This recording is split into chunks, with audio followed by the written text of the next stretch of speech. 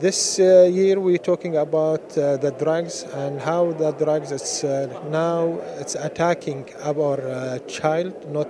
everybody we're talking about the child in school. And uh, how we create uh, some protect programs